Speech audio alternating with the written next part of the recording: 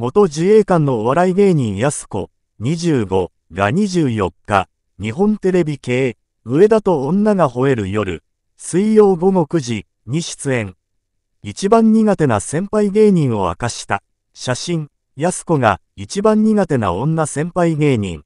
この日、同番組では、ストレスを溜め込む女 VS 発散できる女イライラ解消 SP というテーマで、安子ら女性タレントらがストレスなどについてトークした。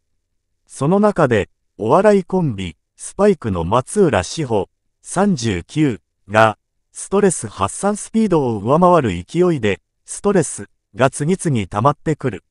芸人を始めたての頃に、先輩に松浦は怒りの感情とかをうまくトークで話せるようになった方がいいと思うよ、と言っていただいて、ムカついたことを忘れないように、忘れないように、って生きてきたんですよ。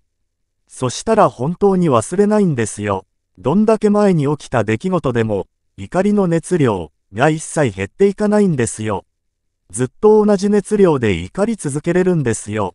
最近とかも、人に喋ってる時、大変だったね。いつの話？ダブルコート。と言われて、10年前です。とか言うと、え、10年前の話でこんな怒ってんの？ってすごい惹かれるんですよなどとマシンガントークで、矢継ぎ早に自身のストレスについて語った。